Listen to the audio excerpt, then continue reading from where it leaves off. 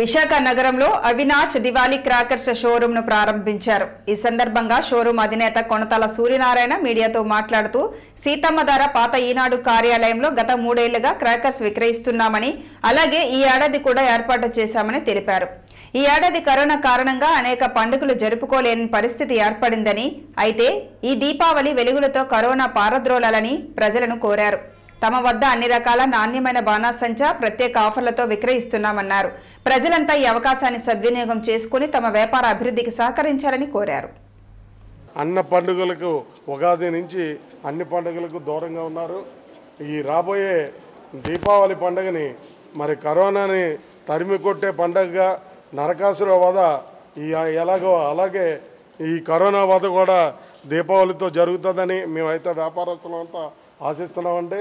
అలాగే మరి ఈ సంవత్సరం అందరికీ కూడా మరి దీపావళి చల్లగా బాగా జరగాలని వ్యాపారస్తులకు కానీ ప్రజలకు కానీ అందరూ కూడా ఆయురారోగ్యాలతో ఉండి ఈ కరోనాను మరి దీపావళి ఈ ప పటాసులతో మరి పారదోలి మొత్తం అందరూ కూడా స్వచ్ఛంగా విశాఖపట్నం అంతా కూడా కరోనా ఫ్రీగా ఈ దీపావళితో అవుతుందని ఆశిస్తూ మరి ఇది ఎందుకంటే ఈ ప్రాంగణంలో ఇది ఎక్స్క్లూజివ్ మాల్గా అవినాష్ క్రా దివాళీ క్రాకర్స్ మాల్గా ప్రారంభించడం జరిగింది. గత మూడు సంవత్సరాలుగా ఇక్కడ మేము వ్యాపారం చేయడం జరుగుతుంది. మరి ప్రజలకి మన్నికైన సామాన్లు శివకాశి వారివి.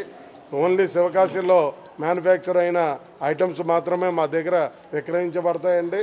అంతా కూడా కంప్యూటర్ బిల్డింగ్ వెంట వెంటనే శానిటైజర్ కానీ ఏదైతే కరోనా జాగ్రత్తలు ఏవైతే పాటించాలో అవన్నీ పాటిస్తూ దూరం కూడా పాటిస్తూ కస్టమర్స్ని కస్టమర్స్కి పూర్తిగా మరి వాళ్ళకి వినియోగానికి ఉపయోగపడేటట్టుగా మేము ఈ సంవత్సరం వ్యాపారం చేయదలుచుకున్నాం.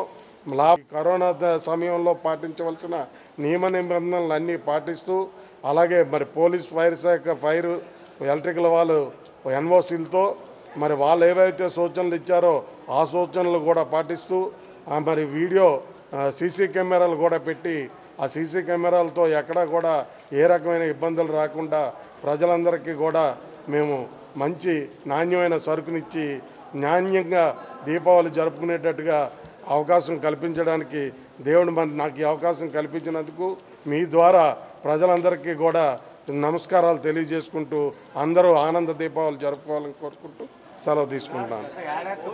ఇప్పటి వరకు చాలా డల్గా ఉందండి. గత సంవత్సరంలో హోల్సేల్ మీద అందరూ కూడా వెళ్ళి చాలా హోల్సేల్ చాలా టైట్గా ఉండేది. వాళ్ళు ఇంత పర్సెంట్ అంత పర్సెంటేజ్ అనేవారు. ఈసారి రేట్లు దిగొచ్చాయి. హోల్సేల్ తగ్గిపోయింది.